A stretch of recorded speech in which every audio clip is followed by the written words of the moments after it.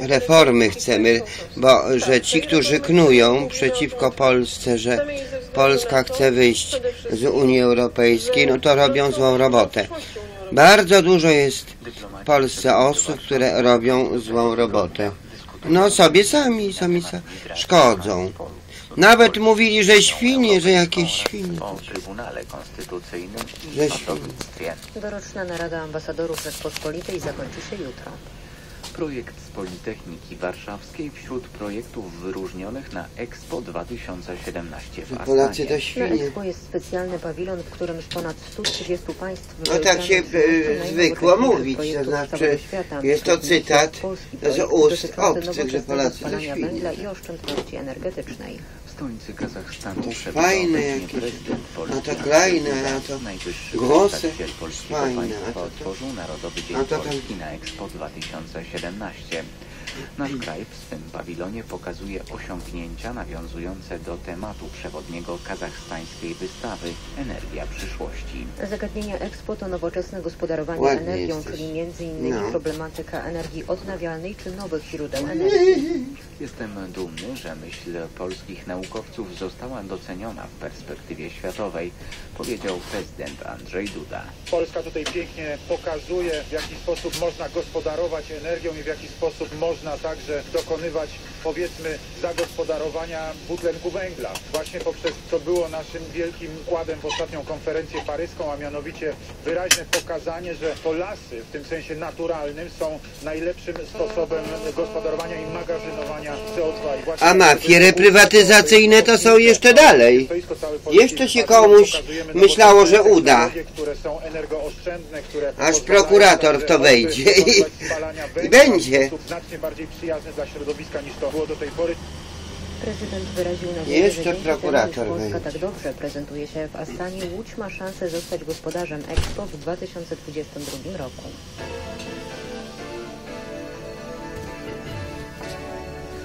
Ministerstwo Sprawiedliwości przedstawiło projekt zaostrzający kary za przestępstwa na tle seksualnym. O planowanych zmianach poinformowali na konferencji prasowej szef resortu i prokurator generalny Zbigniew Ziobro oraz wiceminister Marcin Warchoł. Za gwałty ze szczególnym okrucieństwem resort proponuje karę dwukrotnie wyższą niż obecna.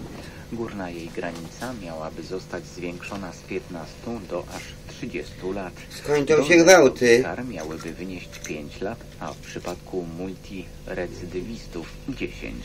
Bo dziady myślały, że wiesz, im się upiecze. Albo napady, 350 zł, wiesz? Jak to mogli zabić? A tu jednego Marcina to zabili, takiego w Parku Skaryszewskim, ale to jest kryminalista, yy, chociaż bardzo miły, chodził na wernisaże i bardzo mnie lubił, ale ponoć się bił w Parku Skaryszewskim, a tam jak z kosami wyskoczą mędy różne takie, to jest Praga. Duża zmiana, trzy okoliczności. A on skąd ten Marcin? To nie, to nie jest stąd z Warszawy, nie jest z Anglo-Ameryki Białystok też, nie jest. Otrzymuje karę jaką? Dwa lata pozbawienia wolności. Sądy tego zupełnie nie widzą przy wymiarze kary. Orzekają dwa lata, ewentualnie dwa i pół roku. Trzy lata czasami. My wprowadzamy szczególny typ czynu zabronionego, właśnie kwalifikowany zbrodnia. Jeżeli posługuje się w trakcie zgwałcenia nożem lub innym niebezpiecznym narzędziem, ma wówczas odpowiadać jak zbrodnia. No nożem właśnie, w Parku Skaryszewskim atakują nożem. Wyskakuj z kasy! Facet wyskoczył z Parku Skaryszewskiego i mówi ratunku. Siedziałem, czekam na pociąg. Chwilę czasu. Mało nie zemdlałem. Podskakują. Wyskakuj z kasy! Takie są dziady tu w Warszawie. Ja nie wiem, do czego tu się śmiać. Nie wiem. Jesteśmy w Rechodóbkach, w żebracznicy wielkiej. To zamiast żebrać, no to oni napadają. Jesienią Targówka. poznali założenia projektu, który ma zapewnić dofinansowanie budowy lub przebudowy dróg lokalnych. W lipcu bieżącego roku Prawo i Sprawiedliwość przedstawiło propozycję powołania Funduszu Dróg Samorządowych, z którego wycofała się po protestach opozycji. Jak poinformował w rozmowie z Radiem Maryja poseł Bogdan Żońca, obecnie prowadzone są dyskusje nad nowymi rozwiązaniami, które pozwolą na remonty dróg. Przewodniczący Sejmowej Komisji Infrastruktury nie wykluczył, że środki będą pozyskiwane z budżetu państwa, jednak jest to uzależnione m.in. od realizacji obecnego budżetu. Problem trzeba po prostu rozwiązać. On jest dobrze nazwany, dobrze zidentyfikowany. Samorządowcy mówią, nie mamy pieniędzy, a my musimy powiedzieć jako państwo, jako Sejm, że te pieniądze e, skądś trzeba znaleźć O, i przekazać no na tak realizację tych zadań.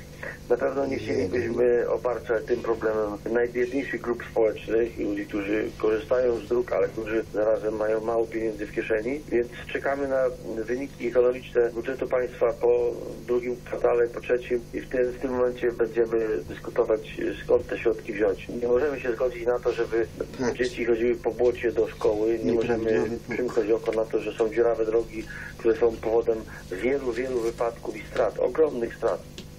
Wcześniejsze propozycje Prawa i Sprawiedliwości zakładały powołanie Funduszu Dróg Samorządowych, której finansowanie zapewniłoby wprowadzenie opłaty paliwowej w wysokości około 20 groszy na litrze. Z szacunków projektodawców wynikało, że w ten sposób można było uzyskać nawet 5 miliardów złotych rocznie na budowę i przebudowę lokalnych dróg.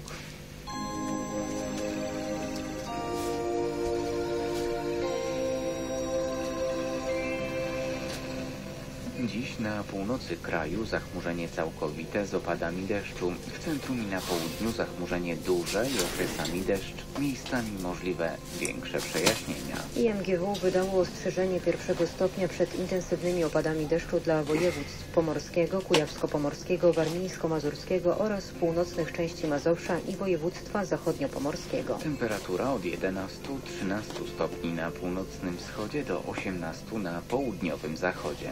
Wiatr umiarkowany okresami dość silny w porywach do 60 km na godzinę, na wybrzeżu do 70 km na godzinę, wiatr zachodni. Na barometrach w Warszawie 994 hektopaskale. Ciśnienie rośnie. Były to wiadomości w Radiu Maryja.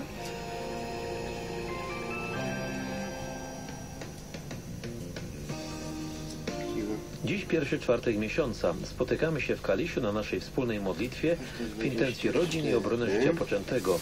Z racji 12 ogólnopolskiej pielgrzymki rodziny Radia Maryja do sanktuarium świętego Józefa w Kaliszu. Hasło naszej pielgrzymki Zróbmy milowy krok ku pełnej ochronie życia człowieka. Potrzebne jest jeszcze raz nasze tak dla życia. Święty Józefie, Twojej opiece zawierzamy życie każdego człowieka. O godzinie 16 koncert zespołu muzyki sakralnej Lumen. O 17 zaplanowaliśmy nabożeństwo za rodzinę i w intencji obrony życia. O 17.30 konferencja na temat Posłuchaj rodziców, których szczęściem są ich dzieci pomimo choroby. O godzinie 18 msza święta, której przewodniczył będzie Jego Ekscelencja ksiądz biskup Ignacy Dec, ordynariusz diecezji świdnickiej, przewodniczący Rady do Spraw Apostolstwa Świeckich przy Konferencji Episkopatu Polski. Podczas naszej pielgrzymki w Kaliszu będzie można złożyć podpis pod obywatelskim projektem zakazującym aborcji eugenicznej w ramach inicjatywy ustawodawczej Zatrzymaj aborcję. Pamiętajmy o naszym PESEL-u. Zapraszamy do wspólnego pielgrzymowania i modlitwy. Początek transmisji na antenie Radia Maryja i Telewizji Trwam o godzinie 17. Niech rodzina zaczerpnie przez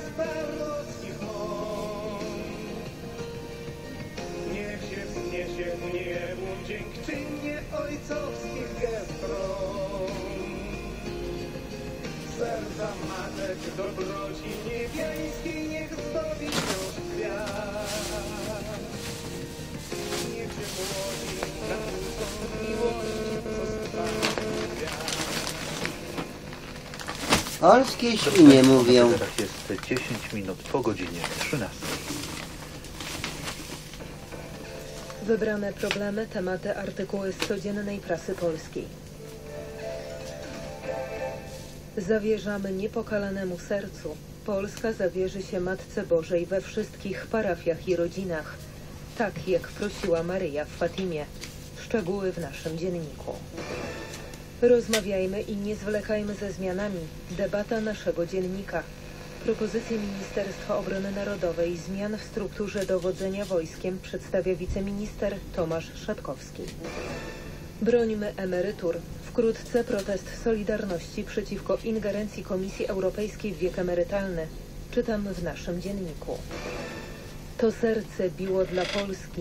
Pożegnaliśmy wybitnego aktora, oddanego sercem sprawom Polski. Świętej pamięci Leon Łochowski był przyjacielem księdza Jerzego Popiełuszki. Nigdy nie zapomnimy, jak śpiewał podczas mszy świętych za ojczyznę na żoli Bożą.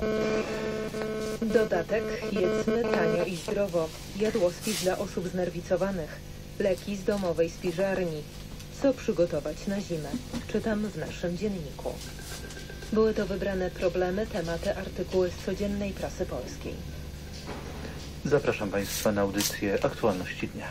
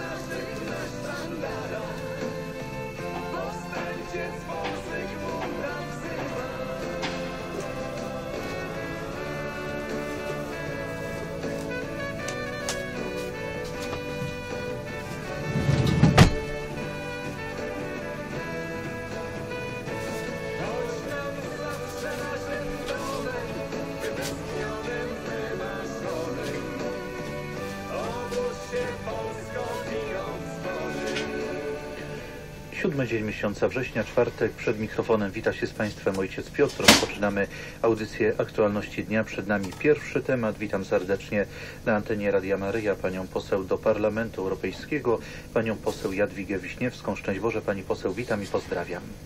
Szczęść Boże, witam serdecznie słuchaczy Radio Maria. Pani poseł, kolejne oskarżenia polityczne Unii Europejskiej wobec Polski. Zapowiedzi unijnego komisarza do spraw migracji, który zagroził w dniu wczorajszym, we środę, że jeśli Polska, Czechy i Węgry nie zaczną wykonywać decyzji o tak zwanej relokacji uchodźców w najbliższych tygodniach, Komisja Europejska rozważy skierowanie sprawy do Trybunału Sprawiedliwości Unii Europejskiej. Y, Rzeczywiście y, taka wypowiedź komisarza w dniu wczorajszym padła, ale ja podchodzę do tej wypowiedzi y, z dużym dystansem i z dużym spokojem. Dobrze byłoby, żeby Komisja Europejska zajmowała się tym, co jest jej przynależne, tym, do czego została powołana. Dobrze byłoby, żeby komisarze wypełniali swoje zadania i swoją misję zgodnie z literą prawa, a nie przekraczali tej litery prawa, albo też nawet e, podejmowali działania, które nie leżą w, ich, e, w jej kompetencji. Polityka migracyjna winna No być Biblia o kształtowana literze prawa negatywnie się wypowiada, Warto że przy tej okazji przypomnieć, faryzeusze to litera prawa. Tak, Biblia to negatywnie się wypowiada. sytuacja, a więc kryzys migracyjny, jaki pogrąża dziś Unię Europejską w chaosie, zafundowała nam pani Angela Merkel. Jednoosobowo podjęła decyzję o otwarciu zewnętrznych granic Unii Europejskiej i zaproszeniu gości. Dzisiaj oczekuje się, że konsekwencje tej jednoosobowo podjętej decyzji będą ponosiły wszystkie państwa członkowskie. Więc już mówiąc bardzo takim językiem y, praktycznym można by, powiedzieć, że pani Merkel zaprosiła sobie gości, a dziś oczekują y, komisarze Unii Europejskiej na zlecenie pani Merkel działający, że oto wszystkie państwa członkowskie pokornie przyjmą gości zaproszonych przez panią Merkel. Na to zgody być nie może. Dlaczego? Dlatego, że nas nie pytano. Błąd zdanie. zrobiła, no jednoosobowa to nie. To, żeby Unia Europejska Nie można. otworzyła szeroko drzwi, złamała wszystkie przepisy związane z przekraczaniem zewnętrznych granic europejskich i pozwoliła na to, żeby fala migrantów wpłynęła do Europy bez jakiejkolwiek kontroli. Jednoosobowo, podkreślam to, te decyzje podjęła pani Merkel. Dziś, używając instytucji unijnych, chce się przymusić wszystkie państwa członkowskie do tego, żeby płaciły za konsekwencje tej błędnej decyzji. Pani poseł, i po raz kolejny w tych debatach dotyczących Polski, także tego zagadnienia, jakim jest e, relokacja nielegalnych imigrantów, e, przejawiają się te tak zwane sankcje finansowe. Cały czas gdzieś jakby się Polskę szantażuje, straszy, e, że jeżeli nie podejmiemy tego tematu w tym aspekcie, w jakim by chciała Unia Europejska, to wam odetniemy dofinansowanie. Absolutnie takie stawianie sprawy jest nieuprawnione i mm, pragnę tu podkreślić, że nie ma związku między e, tymi dwoma sprawami. Fundusze nam przynależne wynikają z zupełnie innego rodzaju e, regulacji i nie można łączyć e, i wskazywać, że konsekwencją. Nieprzyjęcia migrantów będzie odcięcie nam funduszy, bo to by, gdyby tak rzeczywiście było, to by pokazało, że, że w Unii Europejskiej funkcjonuje zasada e, kija i marchewki. No my na takie traktowanie się nie zgadzamy, to jest po pierwsze, a poza tym wszelkie regulacje dotyczące funduszy są jasno i precyzyjnie zapisane i nowa perspektywa finansowa, która w niedługim czasie będzie dyskutowana, będzie uzależniona również od tego, że liczba państw członkowskich się zmniejszyła, ponieważ Wielka Brytania e, wyszła. My w coraz większym stopniu stajemy się płatnikiem netto, a więc ta, ta liczba funduszy z, z natury rzeczy będzie się zmieniała. Regulacje dotyczące funduszy są ściśle zapisane. I to tylko totalna oszalała opozycja chciałaby, ja nie przeczę, chciałaby ta opozycja, żeby nam obcięto fundusze, bo ci państwo myślą, że im gorzej dla, dla Polski, tym lepiej dla tej oszalałej opozycji. Tak nie będzie. Pani poseł, prezes Rady Ministrów, pani premier mówi wprost, myśmy się spodziewali takiej decyzji Trybunału, byliśmy na to przygotowani, jesteśmy na to przygotowani. Oczywiście nasza polityka nie zmieni się, jeżeli chodzi o przyjmowanie uchodźców. Koniec cytatu. Minister Spraw Zagranicznych dzisiaj mówi, bezpieczeństwo Polski jest ważniejsze niż nierozważne decyzje Unii Europejskiej, a zatem walka toczy się o bezpieczeństwo. Walka zdecydowanie toczy się o bezpieczeństwo. Dla każdego obserwatora procesów zachodzących w Unii Europejskiej oczywistym jest, że e, konsekwencją kryzysu migracyjnego jest kryzys bezpieczeństwa. Przypomnę, że po raz kolejny przedłużono stan wyjątkowy we Francji, że w Belgii trwa żółty stopień zagrożenia terrorystycznego, że co chwila, można by powiedzieć, i jesteśmy informowani o kolejnych zamachach terrorystycznych. Już dziś po 14 w RMF Dziękuję serdecznie, możesz się zastanowić, nie ma pośpiechu. Trzymajcie się, cześć. Tego związku między kryzysem migracyjnym a kryzysem bezpieczeństwa tu w Parlamencie Europejskim jest niepopularny. Przywódcy Unii Europejskiej za wszelką cenę starają się wyprzeć ze świadomości właśnie to połączenie, wskazywanie przyczyna i skutek. Dla nas, dla ludzi, którzy są w stanie na chłodno i logicznie ocenić bieżącą sytuację w Unii Europejskiej, to połączenie i ta konsekwencja jest oczywistą oczywistością. Niestety jesteśmy w dość trudnej sytuacji jako Polska, jeśli chodzi o e, relokację, ponieważ na e, relokację zgodził się poprzedni rząd pani em, premier Ewy Kopacz. I tutaj mamy naprawdę z tym problem. Pani premier Kopacz podjęła nieodpowiedzialną decyzję, zgadzając się na przyjmowanie y, migrantów. Niemniej my uważamy, że Komisja Europejska powinna porzucić ten źle funkcjonujący projekt oparty o automatyzm i ponadnarodowe zarządzanie migracją. W kwestii bezpieczeństwa Polek i Polaków jesteśmy stanowczy i bezpieczeństwem Polek i Polaków kupczyć ani handlować nie będziemy. Kwestia bezpieczeństwa naszego narodu jest sprawą nadrzędną.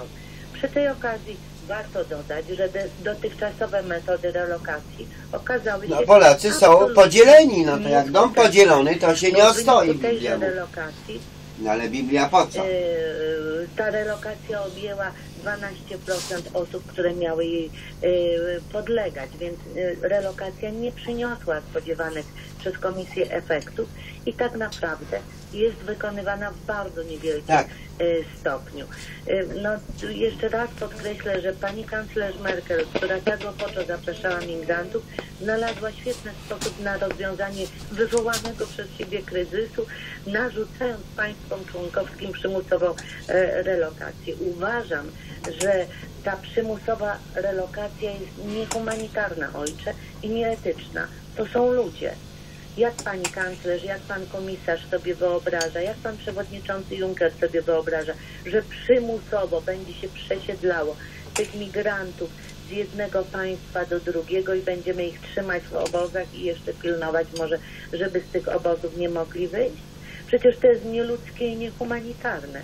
Ci ludzie migrowali do Europy i chcą osiedlać się w zachodnich państwach Unii Europejskiej.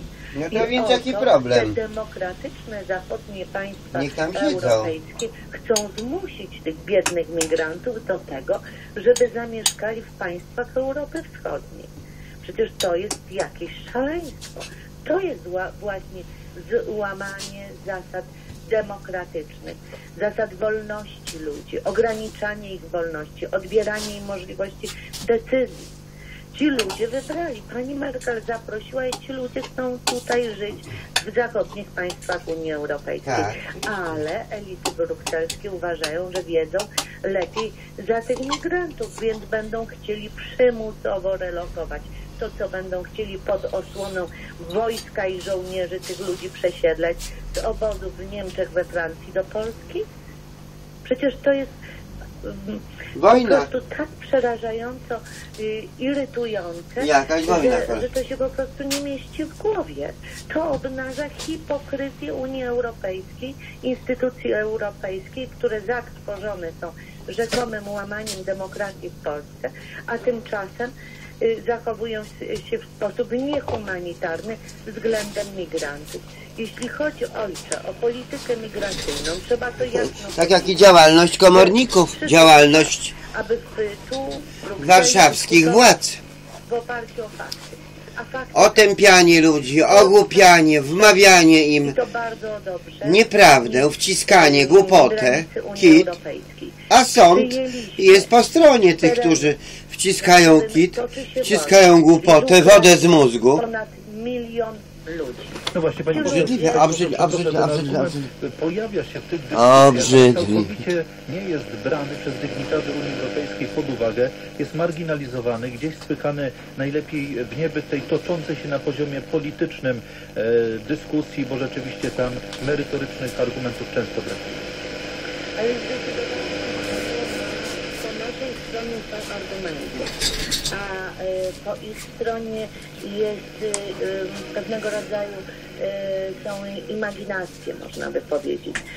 Fakty są takie, że Ukraińcy w Polsce się bardzo dobrze czują, pracują, kształcą, rozwijają, zachowują się w sposób nie, nie budzący żadnych wątpliwości. Y, Zdecydowanie trzeba powiedzieć, że em, jesteśmy w takiej oto sytuacji, że Unia Europejska udaje, że na Ukrainie nie toczy się wojna, że codziennie nie giną tam ludzie. Z Ukrainy y, y, rdzenni Ukraińcy nie są uchodźcami. Radio Concita. To jest jakaś aberracja. Natomiast ci, którzy, którzy idą z Afryki, z Bliskiego Wschodu, y, są dla nich uchodźcami, nawet jeśli y, idą z terenów, na których nie toczą się działania wojenne. Warto przy tej okazji y, przypomnieć y, słowa biskupów Zalewko, którzy mówili, że trzeba pomagać na miejscu. Dziś jesteśmy świadkami dechrystianizacji Afryki. Chrześcijanie są wyżynani w Afryce, następuje wielka ucieczka ludów z Afryki do Europy i y, przedstawiciele państw y, afrykańskich na konferencjach podnoszą, na tych konferencjach, w których bierze udział również Unia Europejska, że oni z niepokojem obserwują ten eksodus ludzi z Afryki. Czyli zamieszanie robią, problem i potem wiesz, że rozwiązanie tego problemu. Ci ludzie, którzy mogliby wpłynąć na to, aby Afrykań, e, e, gospodarki państw afrykańskich się rozwijały. oni potrzebują pomocy na miejscu. Pomocy na miejscu. Jaki jest cel tak naprawdę przywódców Unii Europejskiej? Dlaczego to robią i dlaczego zgadzają się na to, aby na naszych oczach kwitł e, biznes przestępczy, jest przerzucanie ludzi z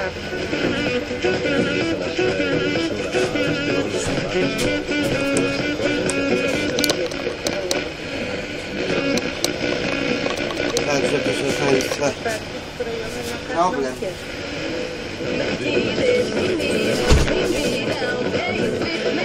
Nie, dziadubo, nie. Dziadubo, nie, nie, nie. Dziadubo, nie. Także Państwo zobaczą, że puszczają piosenki zamiast różańca. Zamiast różańca. Czy tym celem jest dekonstrukcja e, e, społeczna e, w Europie, e, w Unii Europejskiej? To chodzi o to, żeby przede wszystkim budować multikulturowe społeczeństwo za wszelką cenę, za cenę obniżenia bezpieczeństwa Europejczyków, za cenę wyparcia chrześcijan z Europy. Przecież możemy podawać e, dziesiątki przykładów miast e, europejskich, gdzie funkcjonują strefy szariatu, gdzie policja w ogóle nie wchodzi i szariat jest w pełnej okazałości stosowany. Czy mamy z lękiem odwracać się, że nasi goście, którzy wchodzą do wspólnego naszego europejskiego domu, narzucą nam swoją kulturę i swoją religię? My zostaliśmy wychowani tak. Nie. Dziadubo, nie.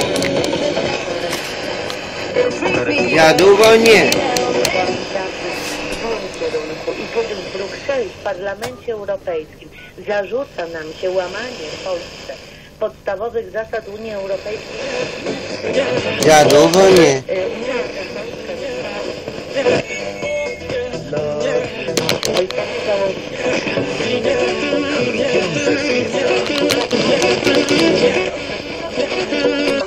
Fundamentach, na których została ufundowana.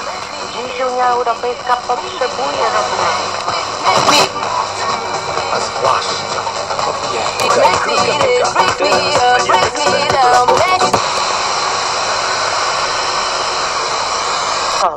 Byli traktowani jednakowo. żeby miała właśnie. świadomość, że może być tylko silna siłą państw członkowskich. Kiedy będziemy mówili o tym, to pokażemy jak, jak często w Unii Europejskiej państwa członkowskie są traktowane niesprawiedliwie. Są równi i równiejsi. Na to naszej zgody nie może być. Pani poseł,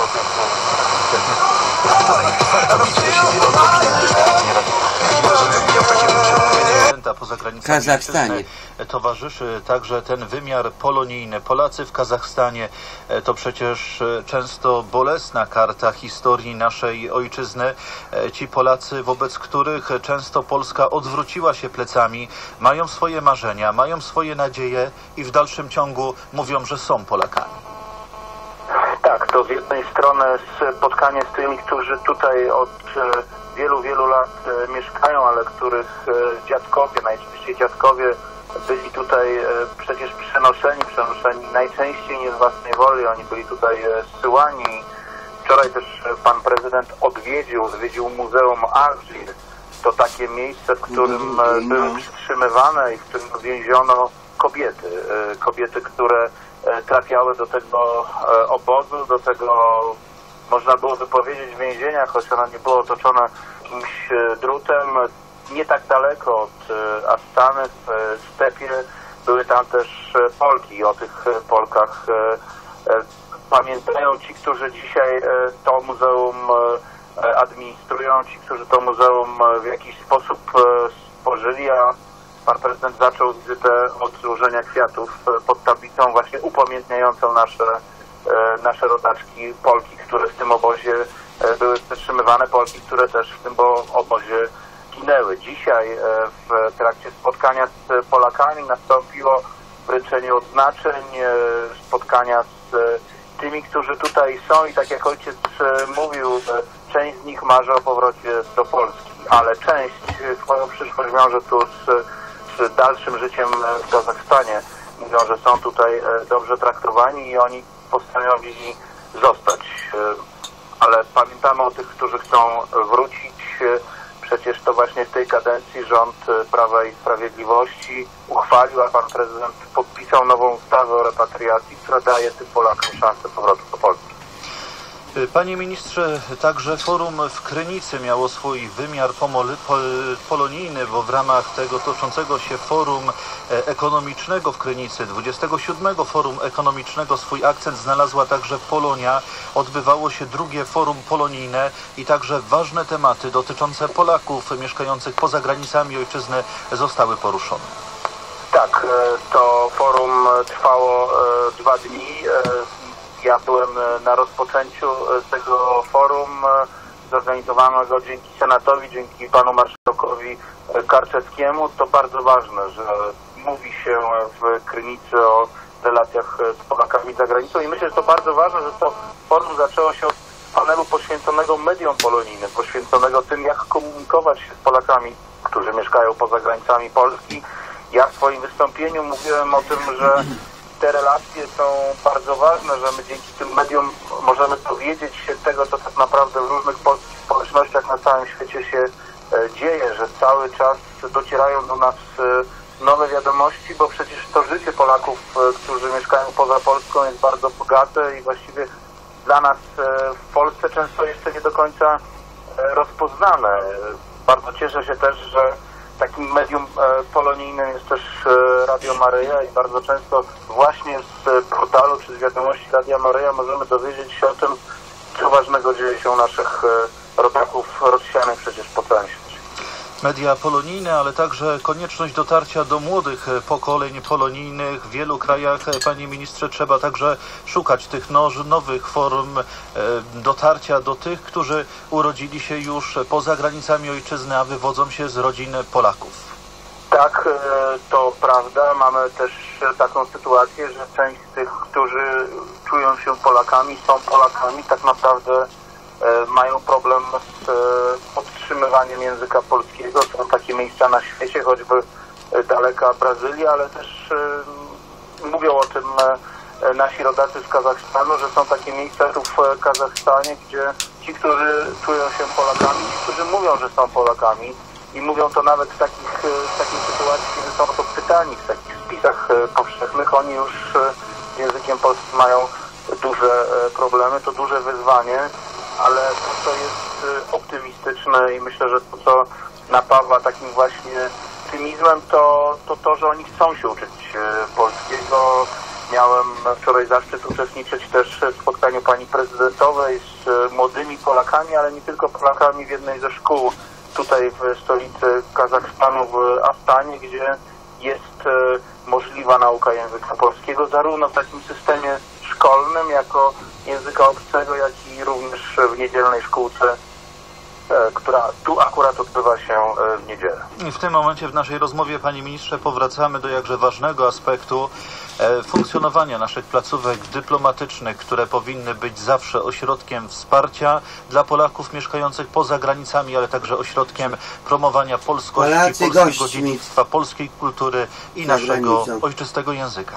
To duże wyzwanie i to jest e, program, który jest realizowany przez e, Ministerstwo Spraw e, e, Zagranicznych. Z pewnością jest jeszcze wiele rzeczy, które można robić e, lepiej, ale ja jestem przekonany, że to właśnie dzięki polskim placówkom, to właśnie dzięki naszej dyplomacji, to właśnie dzięki tym decyzjom o otwieraniu kolejnych placówek e, e, dyplomatycznych. Przypomnijmy, poprzedni rząd, rząd Platformy Obywatelskiej i Polskiego Stronnictwa Ludowego zamykał placówki e, dyplomatyczne, pomimo tego, że coraz więcej Polaków było i mieszkało poza granicami Polski.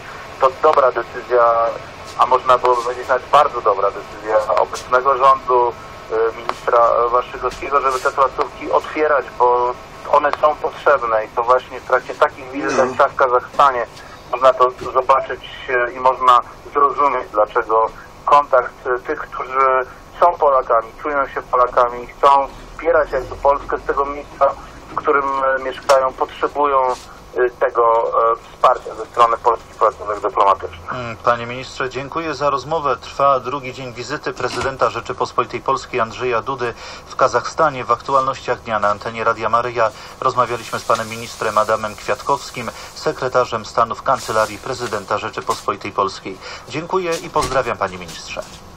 Dziękuję bardzo. Szczęść Boże. Bóg zapłać.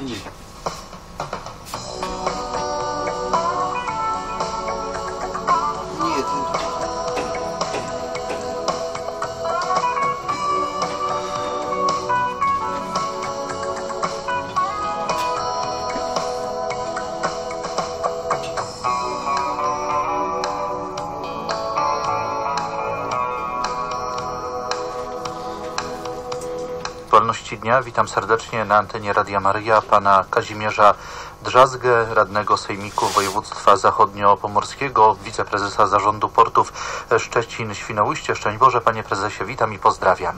Szczęść Boże, witam serdecznie ojca redaktora, witam serdecznie radiosłuchaczy. Panie prezesie, afera melioracyjna zatacza coraz szersze kręgi osób, które są wplątane w tę aferę. Dobiegają do nas informacje dotyczące nowych osób, które są aresztowane przez ABMU, ABW w związku e, z tą aferą melioracyjną, która dotyka Szczecina, dotyka województwa zachodniopomorskiego. Pan jako jeden z pierwszych o tych nieprawidłowościach, które w tej przestrzeni działy się, e, informował mieszkańców Szczecina, ale także słuchaczy Radia Maryja. Warto na początku przypomnieć, czego ta afera, afera dotyczy. Ta afera dotyczy nieprawidłowości e, przy realizacji zadań przez Wojewódzki Zarząd Melioracji i Urządzeń Wodnych w Szczecinie. Tak bardzo krótko mówiąc, skala rzeczywiście jest olbrzymia. Tu tak według prokuratury e, ocenia się, że w tej aferze e, zostało, że tak powiem, e, skala ustawionych przetargów na około 600 milionów złotych. Powtarzam, 600 milionów złotych. To jest jeden z tematów, który rozgrywa się w naszym województwie z udziałem zarządu województwa. Dzieje się to od lat. Działo się to dotychczas bezkarnie. Mam nadzieję, że ten temat znajdzie swój właściwy epilog. Jest, widzę, że jest szansa. A w tym wszystkim najbardziej bolesne i bulwersujące jest to, że dzieje się to na oczach ludzi, że prasa o tym pisze, że mówi o wielu innych sprawach. To już No jest tak samo jak z tym wcześniej. mieszkaniem też. czy? Mówimy my jako działacze A tu włamują się Sprawiedliwości, dziady. No. pisze, piszą o tym dziennikarze na, w różnych mediach i na stronach internetowych. No i niestety, tak na przykład wybory 2014 roku, większość zdecydowaną zyskuje Platforma Obywatelska i tego po prostu nie mogę zrozumieć, że porządni, uczciwi, myślący ludzie idą i głosują na tę formację, pozwalając, przekazując im bezgraniczną władzę w naszym województwie. Robili, co chcieli. I to są tego skutki. Sprawa dotyczy 100 przetargów, tak jak pan Polacy wspomniał, głupi, 600 no. milionów złotych. A co bardziej dramatyczna sprawa, tak jak zaznaczył to pan, panie prezesie, ciągnie się przez wiele, wiele Znaczy, lat i przez wiele lat nic z tą sprawą nie zrobiono, więc rodzące się także pytanie o funkcjonujący albo też niefunkcjonujący e, wymiar ścigania, wymiar sprawiedliwości. Znaczy nie oszukujmy się. Wiele tematów było podanych na tacy, jak chociażby sprawa nieprawidłowości przy budowie e, mostu, remoncie mostu Michelin e, Gryfino. Dosłownie podaliśmy na tacy, na tacy wszystkie materiały Co opracowane. robi pan minister obecny Paweł Mucha w zasadzie należało to potraktować jako akt oskarżenia. Pewien entuzjazm, e, przychylność wydawała się ze strony stosownych instytucji. Półtora miesiąca i temat został umorzony. Podobnie afera informatyczna. Polegało to na tym, jak chociażby sprawa Stoczni Szczecińskiej, gdzie każdy mieszkaniec widział, gdzie prasa wszem i wobec mówiła, co się dzieje. Grabież na olbrzymią skalę, kradzieże, dewastacja. I złożony wniosek wspólnie Złodzieje, pana komornicy. posła Dobrzyckiego, pana Sędzi- radnego mało ówczesnego tego, Pawła sędziowie, Muchy prokurator. I moją skromną osobę, bez rozpatrzenia, bez spojrzenia dokumenty, bez przesłuchania jakichkolwiek świadków i skorzystania z dowodów, zostało to umorzone. Odwołanie nasze oddalone. Odwołuj Wszystko polegało. Ten czas Odwołuj się skończył. Stąd emocje, stąd takie, a nie inne zachowanie, stąd negacja władz polskich, rzekomo przez obywateli polskich. No widzimy, strach i olbrzymie korzyści. Jak się średnio wylicza, jak powiedział pan minister Morawiecki, y, o, pozwoliłem sobie przeliczyć skalę tego, co zostało jak gdyby wstępnie y, wyciekło z naszego państwa, to tak niemalże pół miliona na jednego członka Platformy. Nie wiem, czy to, czy, czy, czy, czy jak to było dzielone, i jak, w jaki sposób to się rozegrało, ale skala tego, tych 200 miliardów, które zostały zdefraudowane wprost, tak powiedział publicznie pan premier Morawiecki. Dzieląc przez ilość członków tej partii, mniej więcej tyle to wypada, tak cyrka średnio na głowę. Przerażające, straszne, no i bolesne, bo widzimy, że w tej chwili No w skutkach bolesnych. wystarczyło to, co było powiedziane przez panią Gdy złodziejom było mało, Starcza na wszystko. trzech jeszcze im się chciało. plus starcza, starcza na kradną. I widzimy na co nas, Polaków i naszą ojczyznę jest stać. Czas bezprawia dla tych różnego rodzaju działaczy uczestniczących w wielu aferach, które przetoczyły się przez Polskę, e, powoli się kończy. Kolejne nowe aresztowania. Powoli, E, powoli. Czekamy na rozstrzygnięcie, panie prezesie, tej sprawy, no ale czekają także kolejne sprawy do podjęcia, chociażby pan wspomniał e, tą dramatyczną dotyczącą grabieży majątku Stoczni Szczecińskiej, przecież także straty liczone w milionach. Proszę ojca, dwóch i pół roku udało mi się po publicznym wezwaniu na, na spotkaniu doprowadzić, wymusić decyzję o wejściu Komisji Gospodarki Morskiej i Gospodarki Sejmiku Województwa na teren stoczni. Powtarzam, skala grabieży przekraczała moje wyobrażenie. Podejrzewam, że gdyby tam stacjonowała Armia Czerwona, ten teren byłby w lepszym stanie. I przeraża mnie jedno.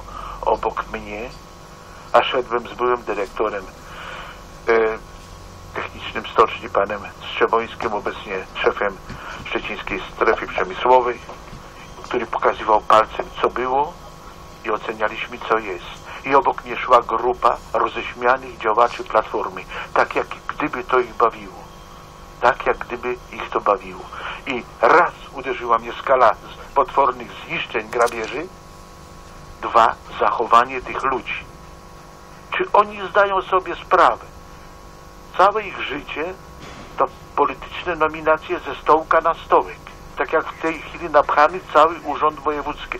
Był starosta, była pani poseł, która się nie nadaje do niczego, trzeba było dyrektor zwolnić, bo nie mogła z nią wytrzymać.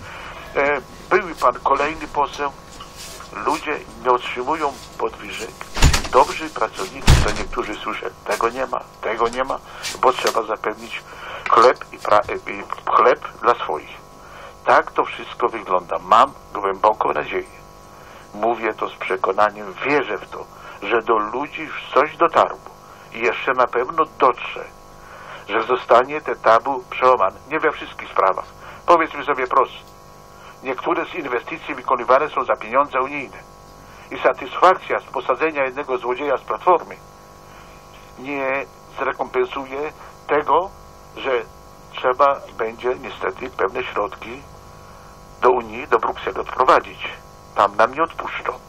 A ci jeszcze przedtem kradli, a teraz donoszą.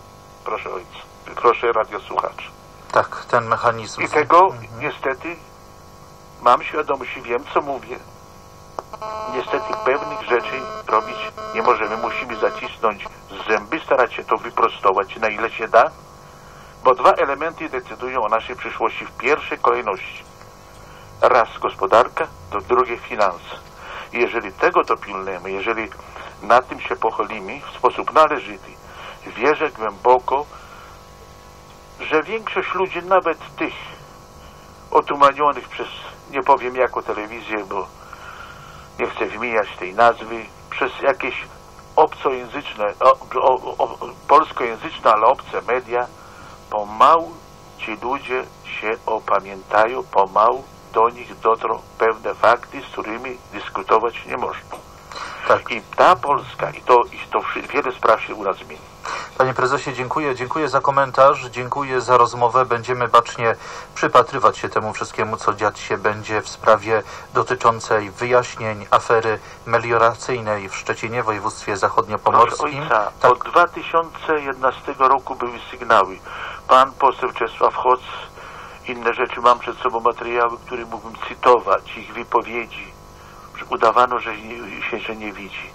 I tak jak powiedziałem, dzięki Bogu Najwyższemu, dzięki tym Polakom, którzy jeszcze mają w sercu Polsce, Polskę, to się ten czas już mam się skończył, e, skończył nieodwracalnie. Idziemy inną i dobrą drogą. Serdecznie dziękuję, pozdrawiam ojca, poz- pozdrawiam radiosłuchaczy.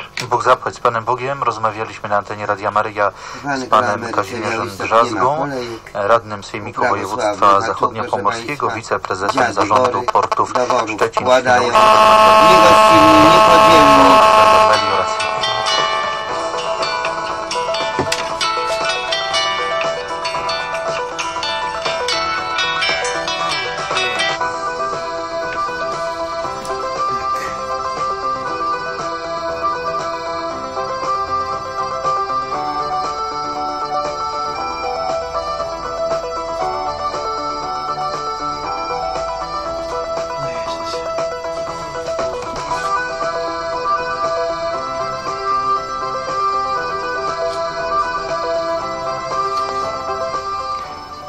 Państwo, w Radiu Maryja trwają aktualności dnia. Przed nami jeszcze jeden temat. Witam serdecznie na antenie Radia Maryja księdza doktora Krzysztofa Czaple, pallotyna, dyrektora sekretariatu fatimskiego. Szczęść Boże, księże dyrektorze, witam i pozdrawiam.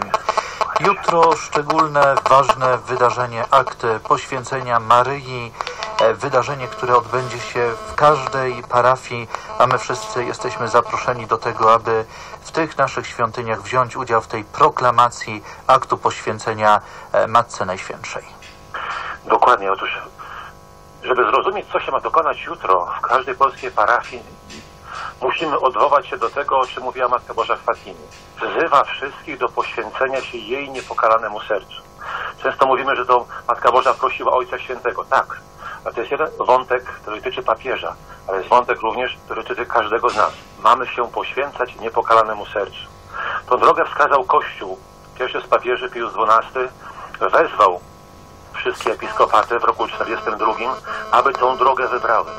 Tą drogę między innymi wybrała Polska po zakończeniu II wojny światowej, kiedy wydawało się, że nie ma ratunku dla polskiej, polskiego ko- kościoła w Polsce, na naszej ojczyzny, aby była niepodległym, suwerennym krajem. Tą drogę wskazał prymas Polski August Front. Jest nadzieja w niepokalanym sercu. Matka Boża mówiła wprost o błędach Rosji, o wpływach Rosji i jak postawić tamę temu złu, to jest droga niepokalanego serca.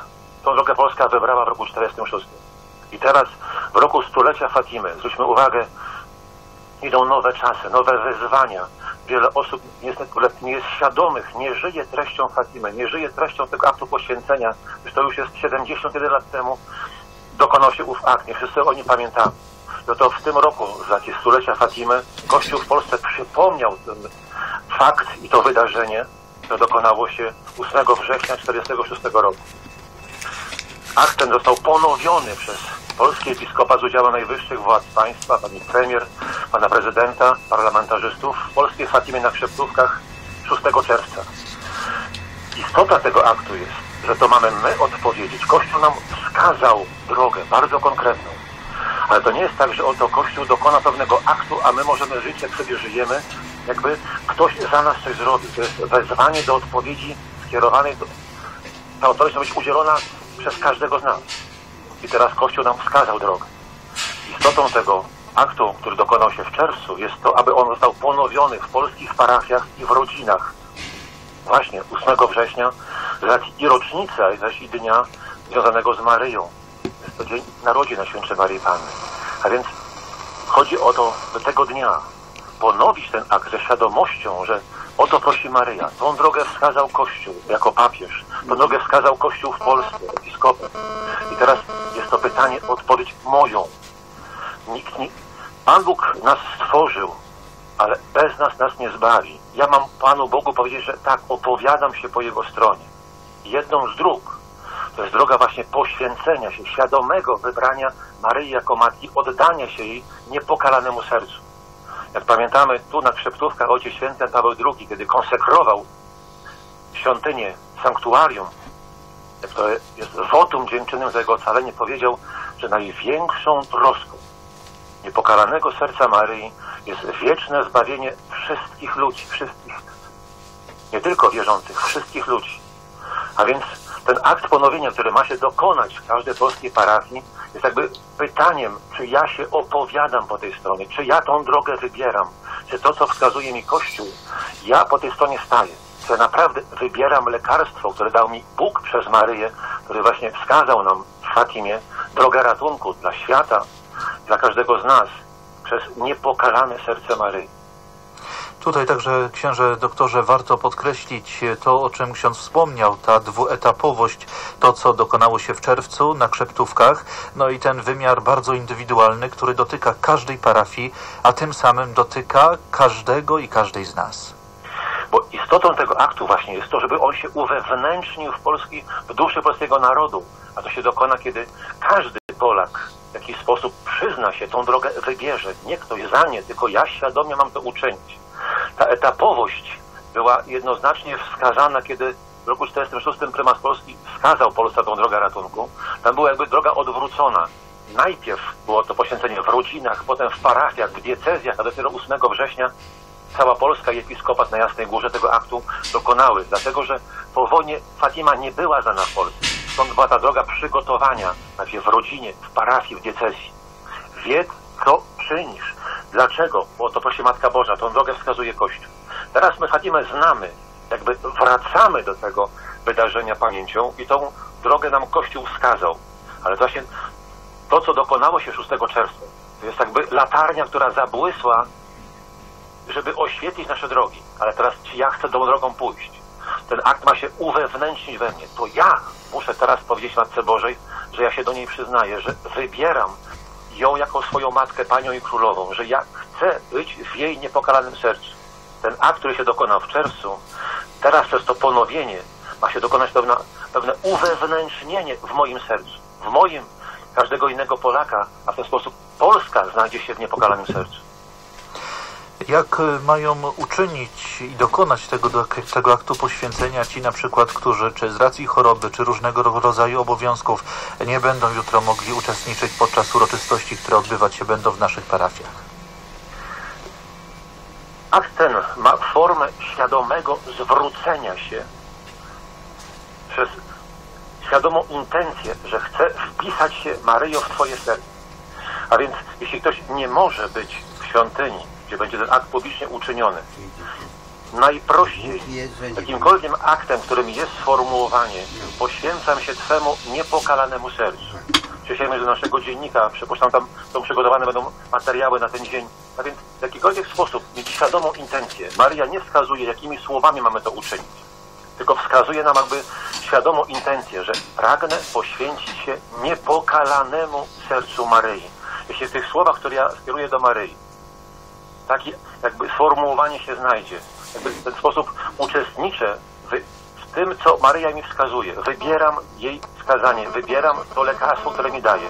A więc jeśli nie mogę być w świątyni, to właśnie w jakikolwiek sposób przed wizerunkiem Matki Bożej, jakiejkolwiek formie, bo to jest poświęcenie się niepokalanemu sercu Maryi, nie fatimskiej Pani, tylko Maryja, więc przed każdym jakimkolwiek wizerunkiem, obrazem, figurą, który przedstawia mi, przypomina Matkę Bożą, jeśli świadomie ja wypowiem te słowa w sercu, w duszy, na głos, potem czy uzupełnię różańcem, jeśli takie coś się dokona ze świadomością, że o to Matko Boża prosisz, ja jestem posłuszna Kościołowi, a więc również i Tobie, bo Kościół to drogę mi wskazuje. Jeśli dokonam świadomie tego aktu, że będzie to zwrócenie się do niepokalanego serca Maryi, wypełniam to, o co Matka Boża prosi.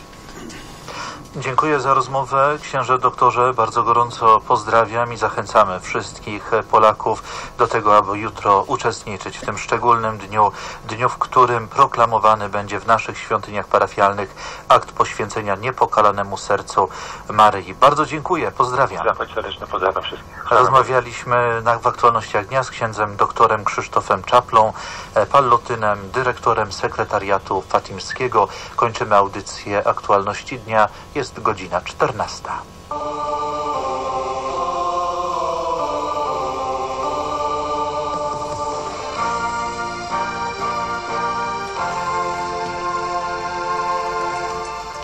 W Państwa domach gości Radio Maryja.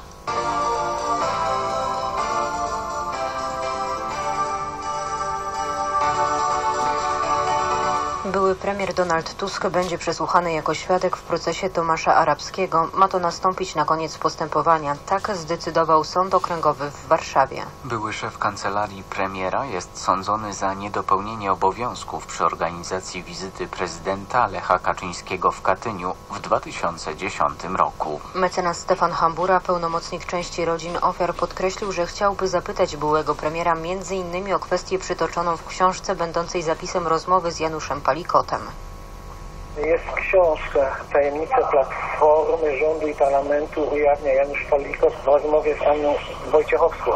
I w tej książce jest też wątek dotyczący udostępniania samolotu przez, przez rząd PO-PSL świętej pamięci prezydentowi Lechowi Kaczyńskiemu. Teraz cytat, uniemożliwienie lotu Kaczyńskiemu gdziekolwiek. To były konkretne zadania, jakie przed swoimi ludźmi Tusk stawiał każdorazowo. Chciałbym się też dowiedzieć, czy do tego każdorazowego zadania należał też lot do Smoleńska e, 10 kwietnia 2010 roku, ale jak mówię, to jest jedno z wielu pytań, które będziemy zadawać.